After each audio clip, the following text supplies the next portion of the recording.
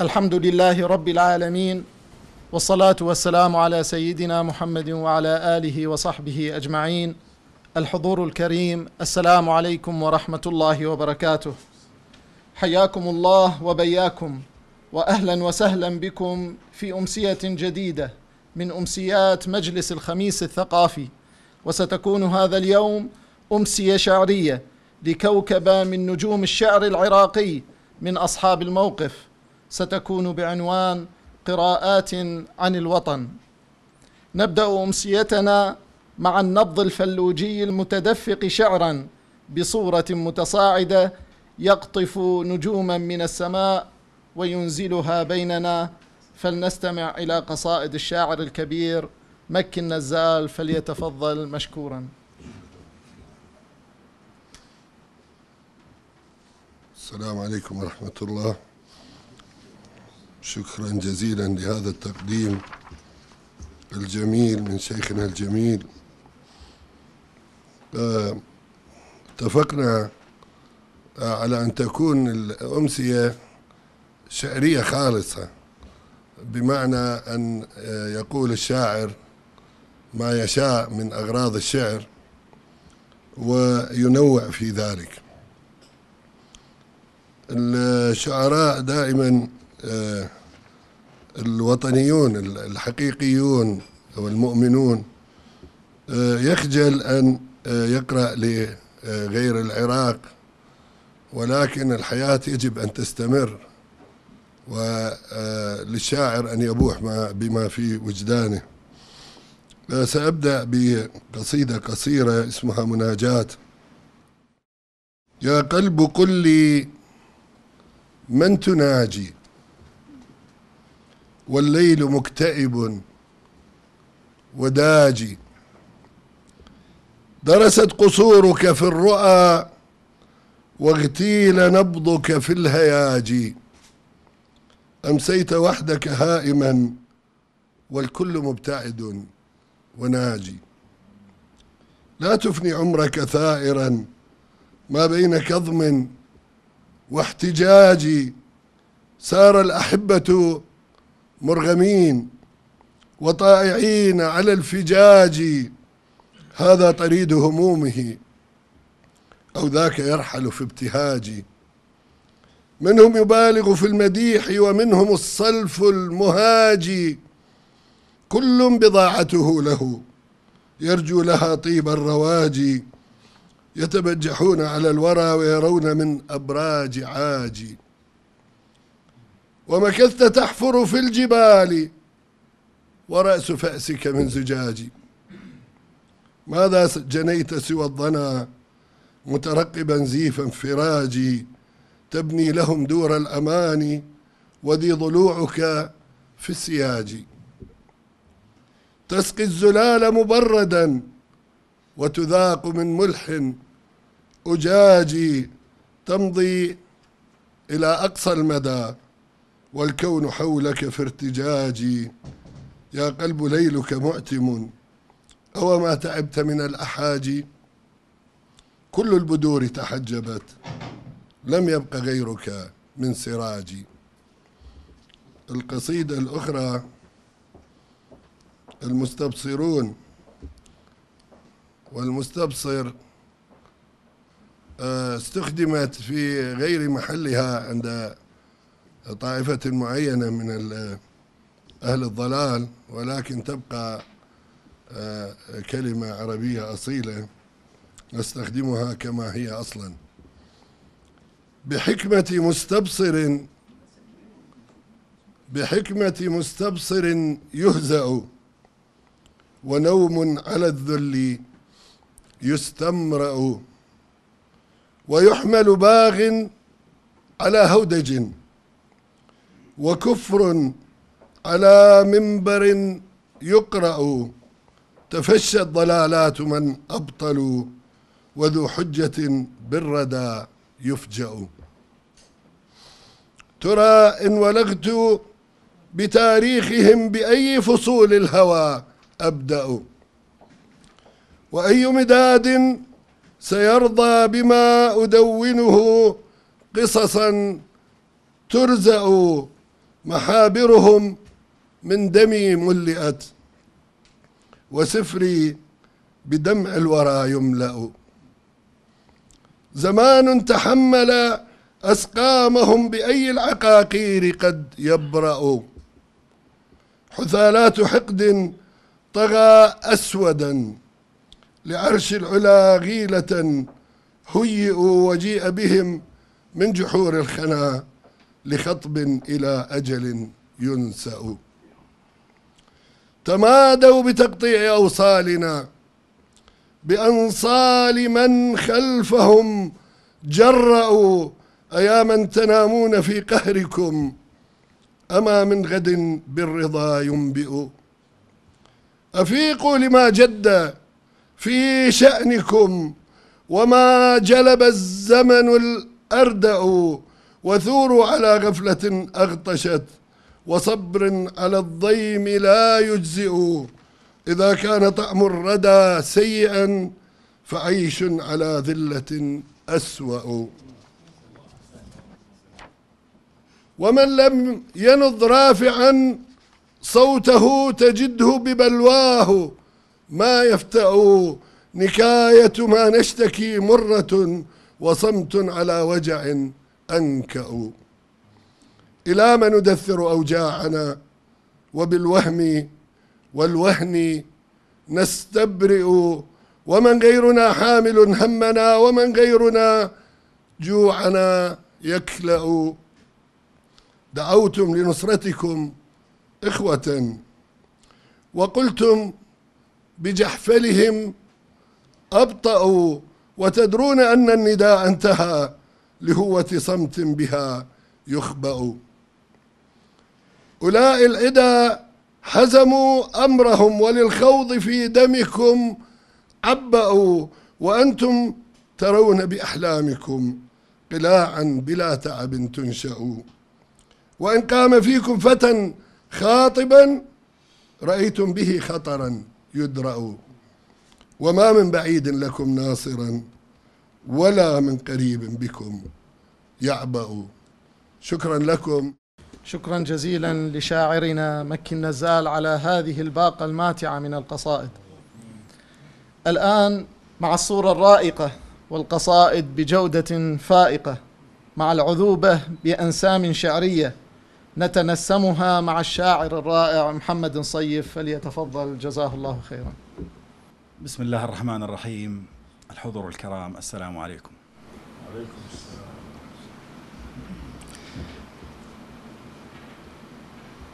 هذه القصيدة كتبتها لأخي مصطفى آخر أشقاء الشهداء الذي استشهد في القرمة عام 2014 رحمة الله رحمه الله.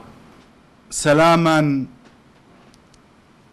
لروحك يا مصطفى سلاما لمن بالعهود وفى. سلاما لروحك يا مصطفى. سلاما لمن بالعهود وفى. عزمت بسوح الوغى مرعدا فكنت بها الفارس الاشرفا وجرعت خصمك سم الردى إذ الخصم في غيه أسرفا عجلت إلى الموت مستبشرا وقطف الجنان دنا واحتفى. رحلت إلى الله مستيقنا بأنك ممن هدى واصطفى. رحلت وبي لهفة والغليل إليك لظى مضرم منطفى لك الشوق أضنى فؤادي أسا وكان المنى أن تظل الشفاء. يحدثني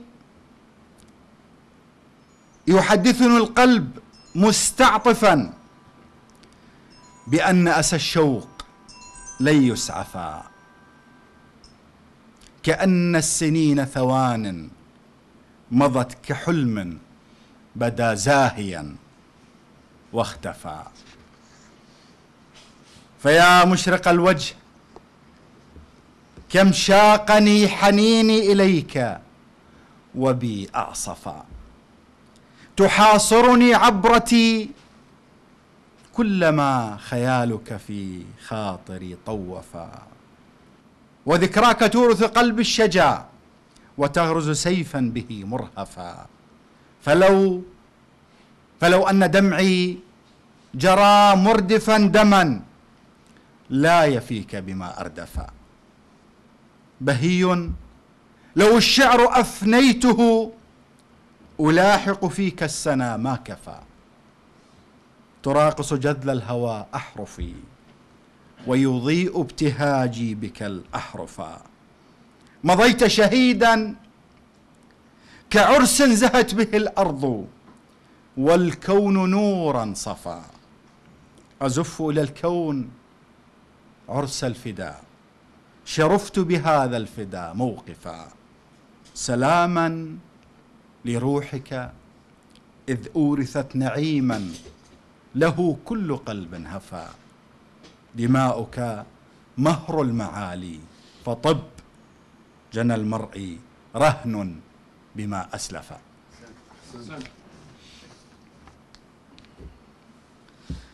إحنا اتفقنا على اننا نقرأ غزل لكن الجماعة قلبوا عليك انقلبوا علينا بالعنوان قصائد وطن. لكن مع ذلك لا بأس أن نقرأ أن تكون المرأة حاضرة مع الوطن. فكانت هذه القصيدة فقالت أنا أسماء. دخلت وقد لف المكان بهاء. وتلألأت من حولنا الأجواء. مذ أقبلت شغل الحضور حضورها بعيونها تتزاحم الأضواء. فدنت إلينا والسؤال يقودها خطواتها قد شلها الإبطاء. وقفت وكف الصمت خاط لهاثنا وفضولنا ضاقت به الأرجاء. ألقت تحيتها فرد ذهولنا قالت فشد قلوبنا إصغاء. أنتم عراقيون؟ إن مسامعي قد ساقها لحديثكم إغراء. هل كنت مخطئة بما ينتابني؟ فلطالما شاب الهوى أخطاء.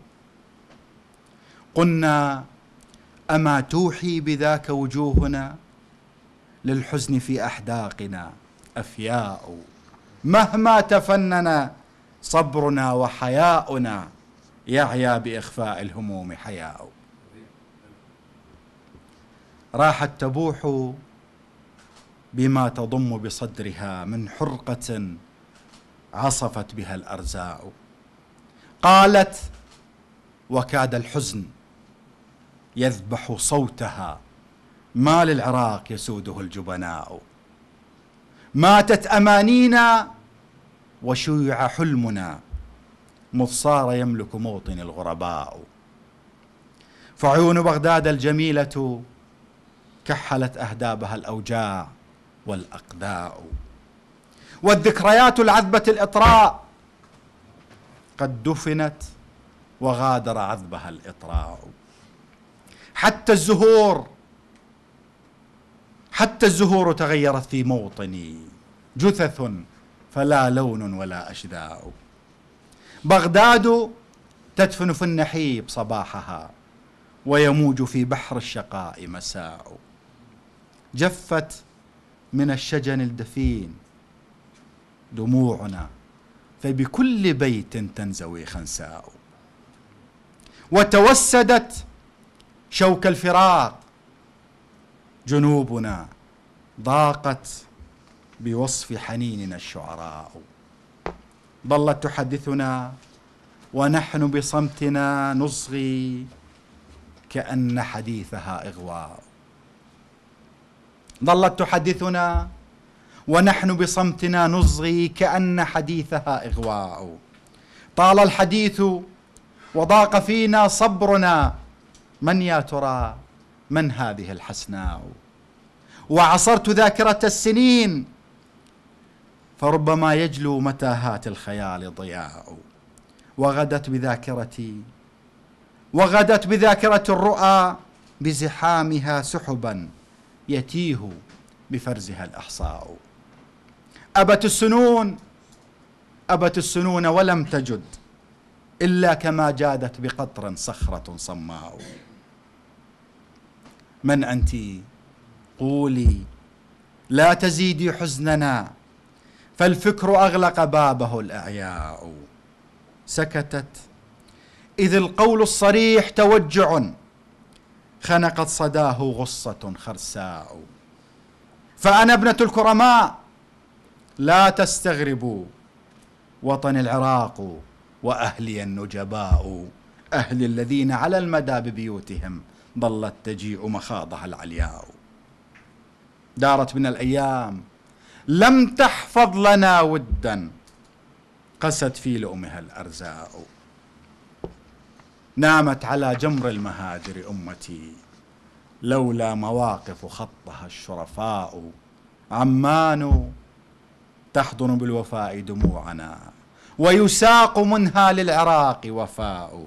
عمان كانت للجراح دواءها إذ ما يعز على الجراح دواء.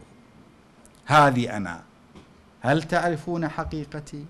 يا سادتي لن ينفع الإخفاء. قالت وظل الفخر ينسج قولها.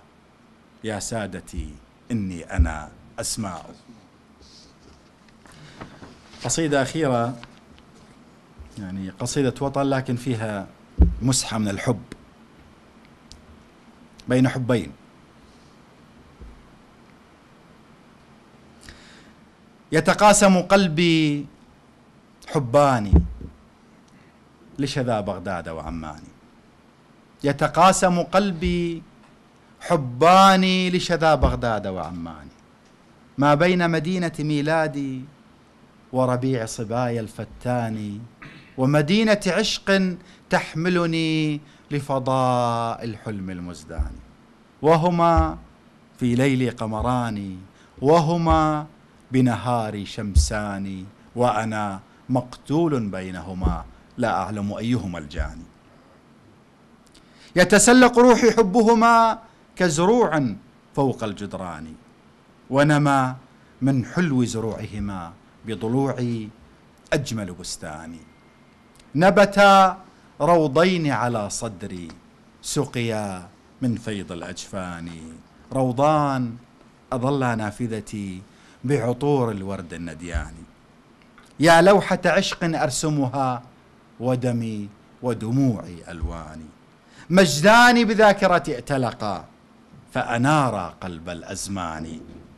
ويفيض بأفقي سحرهما فيبوح بسر الأكوان. يزداد الشوق شجا لهما.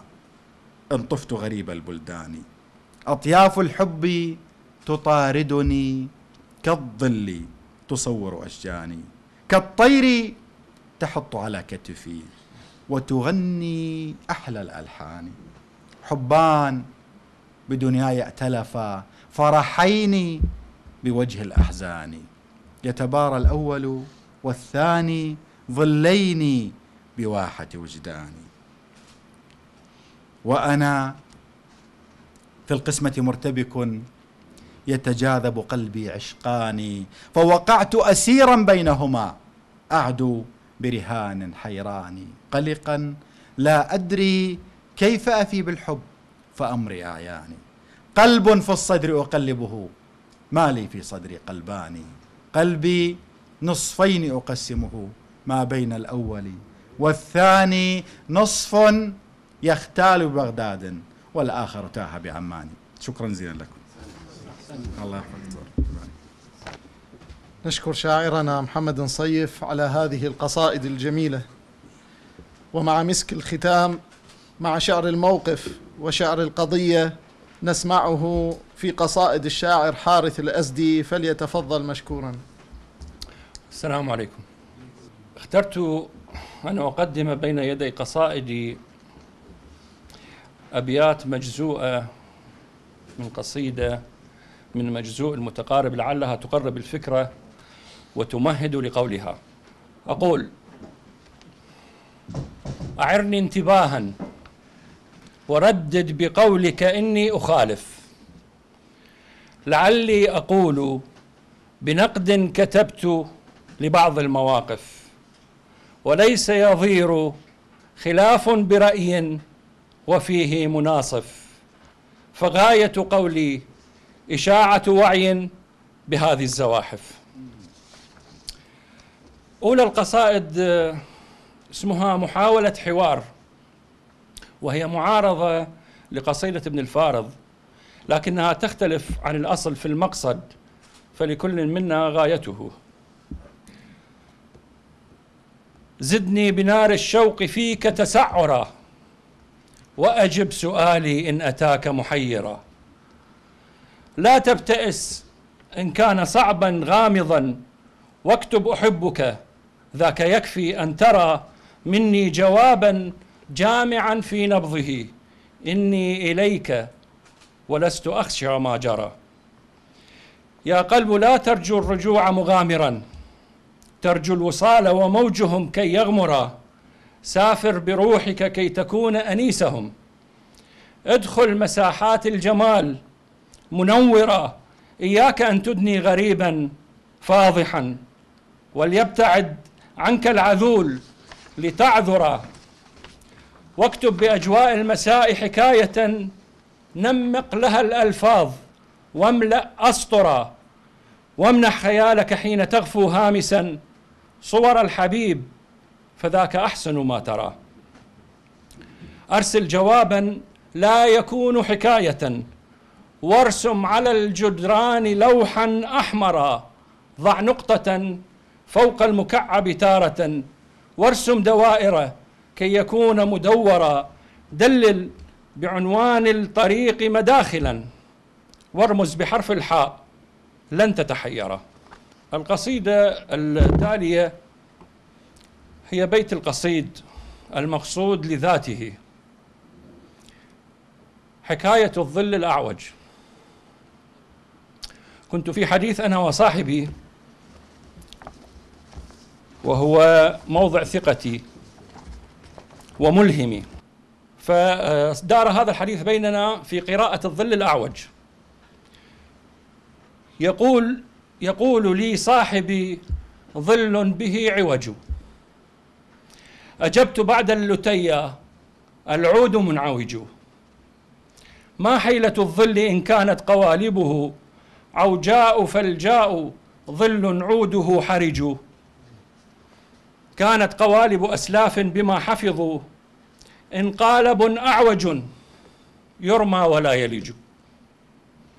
فقال لي صاحبي هذا لمن ملكوا لعلنا نقتفي نفعا بمن تهجوا سألت صاحب سري شرح منهجهم فأومأ الرأس إن السر ما سرجوا منارة للدنا في ليل مهلكة.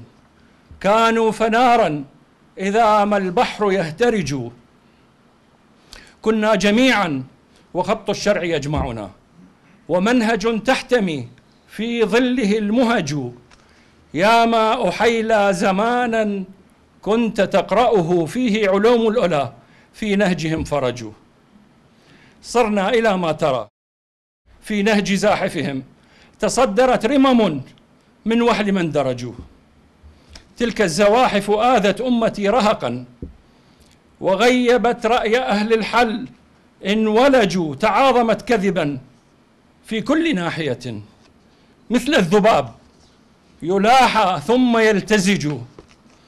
بل هم قراد حتى إن واحدهم إذا رأى دبقة ينحط يمتزج. حراكهم مثل شيء غاص في خبث. أو خانع مثل خب شانه الفلج. وغاية القول في توضيح طلسمهم. أطلق رؤاك. يفك الرأي منزعج وإننا نبتغي في فضحهم أملا أن لا تكون لهم في واقع حجج. يا أمة العدل هل غابت فوارسنا عن الحقيقة حتى ساد مزدوج يقول لي صاحبي هذا ملخصهم. حقائق قولنا بالصبر تمتزج. ماذا دهاك؟ إذا ما رمت تصلحهم كسرت عود الذي في نصفه عرج هلا نظرت إلى ظل دلائله تغنيك عن أصله في عوده خدج وأن لي صاحبي تنهيدة وبها قولي وقولك حق ما به رهج حكاية الظل أزجيها مبسطة. فواضح القصد معروف بما درجوا قصيدة من بسيط الشعر أكتبها. مني إليكم. وبعض القول يهتزج. وأختم الآن أقوالي بأحجية. من صاحبي؟ من أنا؟ من هم بهم عوج؟ والسلام عليكم ورحمة الله. شكرا لشاعرنا حارث الأزدي على هذه القصائد القادحة. في الختام أشكر لكم حضوركم وإلى أن نلقاكم بأمسيات قادمة لكم منا كل التحية والإحترام والسلام عليكم ورحمة الله وبركاته.